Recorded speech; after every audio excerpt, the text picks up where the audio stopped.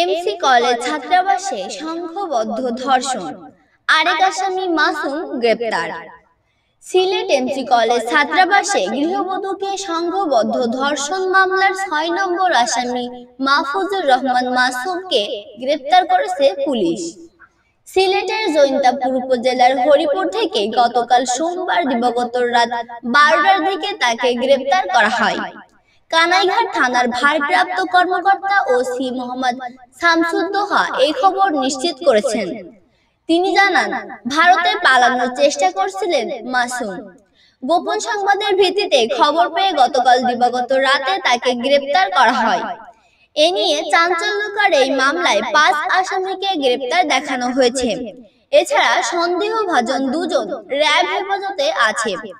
এদিকে সংঘবদ্ধ ধর্ষণ মামলার প্রধান আসামি সাইফুর রহমান চার নম্বর আসামি অর্জুন লস্কর ও পাঁচ নম্বর আসামি রবিউলকে গতকাল পাঁচ দিন করে রিমান্ড দিয়েছেন আদালত। গত রোববার সকালে সুনামগঞ্জের ছাতক উপজেলা থেকে সাইফুর রহমান ও হবিগঞ্জের মাধবপুর উপজেলার মনতলা এলাকা থেকে অর্জুন লস্করকে গ্রেপ্তার করা হয়।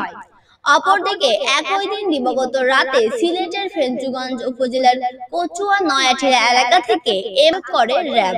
তিনি এ মামলার অজ্ঞাত পরিচয় তিন আসামির একজন।